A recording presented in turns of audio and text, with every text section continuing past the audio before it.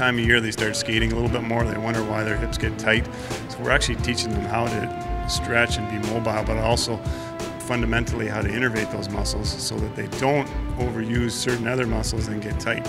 And they all report that they felt better from the beginning to the you know from the beginning to the end. So those, that's how we want them to feel when they get on the ice.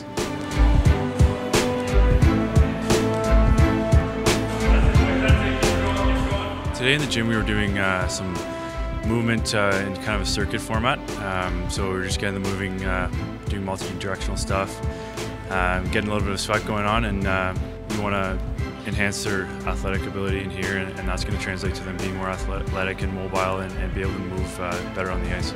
They're uh, a little tired today, but they're still in here and motivated and got some energy to, to, to do the stuff that we are doing today. So.